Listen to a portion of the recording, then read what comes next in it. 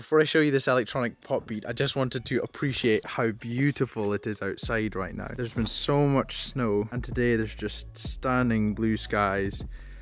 There's just snow everywhere. Right, let's go. It's so cool being here with the snow outside. I'm gonna show you how to make this. Falling and burning blue fire going up in my head. Yeah. Darkest angel, show me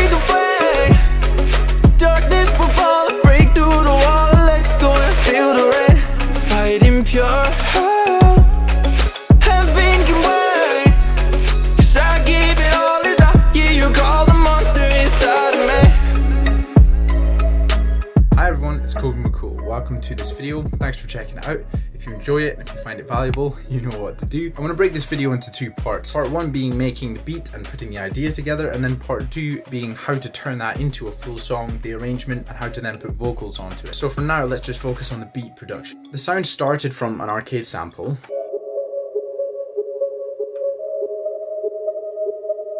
I loved how dark, ambient and atmospheric that was. One of the problems or the challenges that I've found with arcade is that most of the time I end up either replicating the sounds with a synthesizer and designing the sound myself so that I can choose which melodies and which direction it will go to instead of being limited to just the sample. Or I will take a one shot from that sample and then use that to write my own melodies and chords. That was the original sound. And then within Vital, I just decided to try and recreate it myself.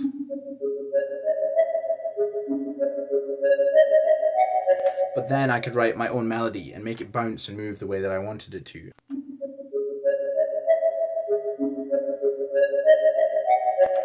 I kept the sound design actually very simple and I love doing that with sine waves. Sine waves probably one of my favorite waves to work with because you can do a lot with it without it having to be overly complicated. Just because you have all of these buttons and knobs and different options doesn't mean you have to always use them. So most of the work is done here with the effect. I have a chorus and a reverb, not doing too much special. The delay has an eighth delay.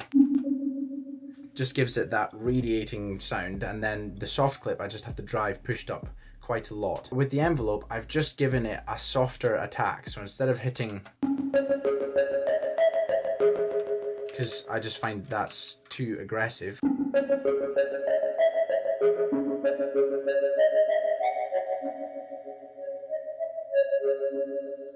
It just gives it a softer edge and then you can bring that edge back in to taste with the distortion. What I could then do that I couldn't possibly have been able to do with just the arcade sample is add more notes down in the bass.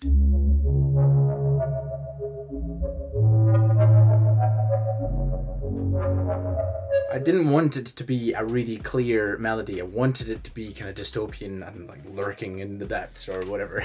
the next sound I used was also an arcade sample. It was just from their toys selection, but I just took a one shot, recorded that out. So I could choose the melodies and rhythms that I wanted it to have.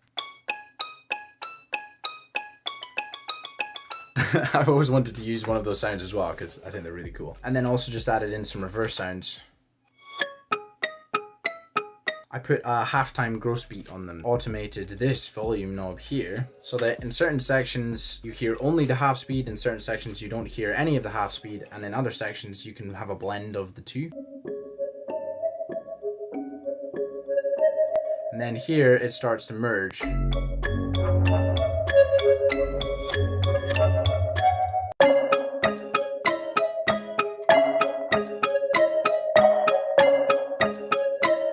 And I just love that because the half speed gives it a more of a jarring, slower step to it, but keeping a bit of the full speed version keeps that up tempo rhythm to it. Then I just took another one shot from the Sicky Beats Pandora pack. Just has this really nice luscious sound and I didn't want this one to be playing lots of different notes, I just wanted a basic atmospheric accent. And then the last element within these is just this little labs atmospheric bell.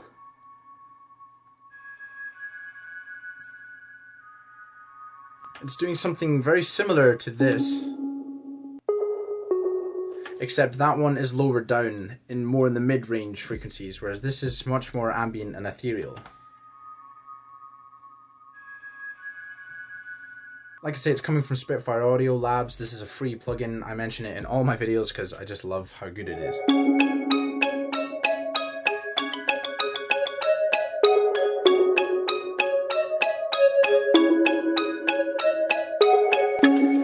Could say that there is too much reverb and that those bell sounds are almost too loud. The purpose of making it like that is so that the sidechain that I have with the kick and the snare is even more emphasized. So let's get into the drums now. Start off with a heavy kick, very basic pattern, and then just some clicks.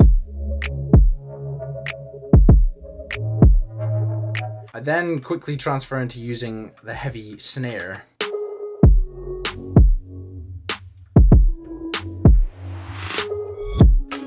The snare is layered between that sound, which is dry, short, sharp, and snappy, and then another one which has more spaciousness to it. Then used a snare roll here, and then just took that main kick and reversed it into the other one. And I love how much that emphasizes the heaviness of the kick. Then of course just sidechained the kick to everything. then just set up individual sidechains for each of them. And the sidechain that I have on this particular one is huge. The threshold is right the way down at the bottom and the knee and ratio are pushed relatively high. Let me play the instruments and just turn the drum sound off but so that the sidechain is still happening.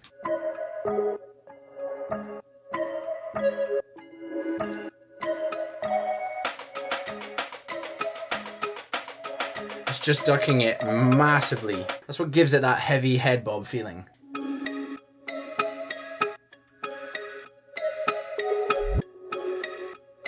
So if I then play that with the drums back on,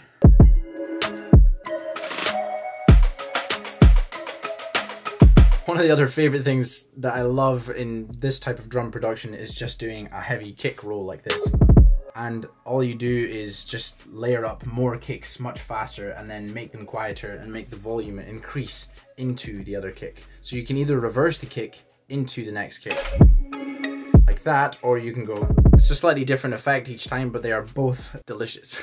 Then, some of my favourite drum sounds, which I have been looking for for a long time. It's an axial drum played usually with a pipe band, but you hear it in marching bands across in America, and it's some of my favourite producers use this type of snare. So I just found a sample that had this loop going, but the loop was very full on and I didn't want it to be on all the time because it would just take over. So I just cut it up into the sections based around the rest of the instruments.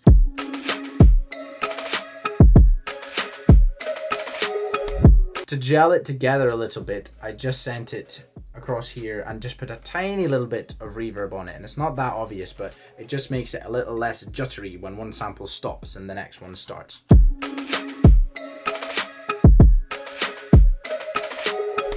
That's so cool. It's so much fun producing with those types of drums. Then some other creativity that I got into, I was actually just recording some vocal ideas. I've got this new keyboard, uh, which has been ace to work with, and I was just recording a vocal idea with it and uh, I just like scratched my fingers along it. I'm not really sure why. I think it's just because it's got like really clicky clacky keys and they sound great. And so going like that sounds really cool. I kind of used it as almost like a reverse snare. And then I also used the spacebar and just added that as a foley sound so that it would just give a little bit more character to the drums. And then this one here as a nice transition sound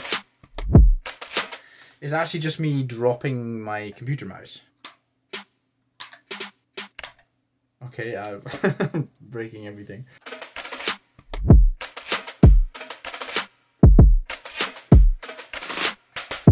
Yeah, I just think it's great trying to use some of the stuff around you because it's just not going to sound like anybody else's drums. The next thing I added in was some guitar plucks. So I actually went back to the last song that I've been working on, Blue Moon.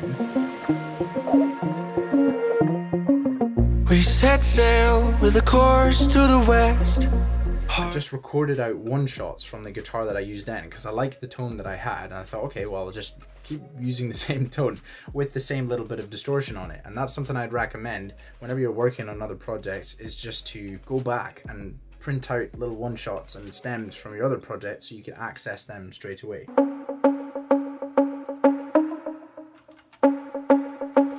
And that's not doing anything massively special, it's just adding a little bit more rhythm and texture behind everything, especially in the choruses.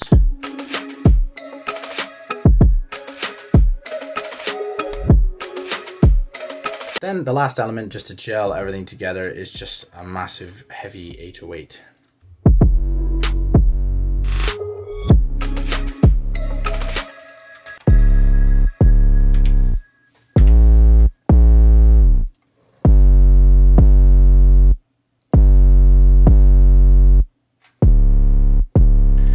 This again was from the Sicky Beats Pandora pack, and I don't really ever need to do much to those samples because they already sound really rich.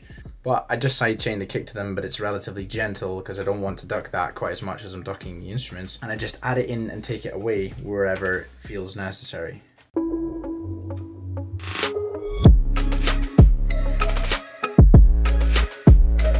Then just some little reverse sounds just to draw even more energy up at the end of each phrase.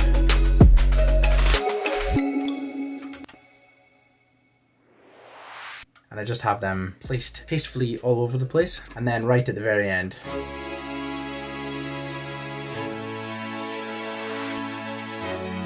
some strings just to make it extra dramatic.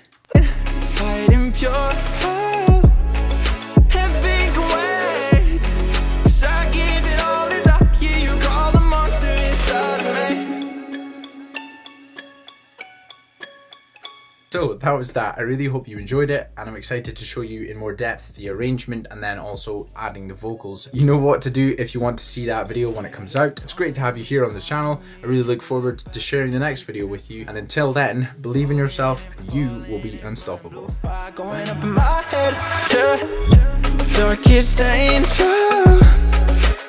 Me